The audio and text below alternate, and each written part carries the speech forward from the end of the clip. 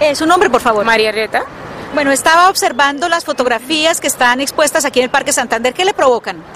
Eh, como sensibilidad, como saber de que hay muchas mujeres que están sufriendo este abuso y pues obviamente mm, me pone o sea, pensando de que pues no es el hecho, ¿no? Somos mujeres y merecemos todo el respeto que, que merece cualquier mujer, independiente eh, como el círculo social. Me pone muy pensativa, ¿no? De que de todas las mujeres tenemos que ser eh, respetadas, eh, valoradas, queridas, ¿no?